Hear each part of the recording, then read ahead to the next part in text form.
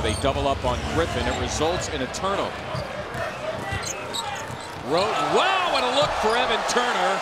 Maybe that'll get the Sixers going. Turner finishing the job after the fine feed by Wroten. his fifth assist.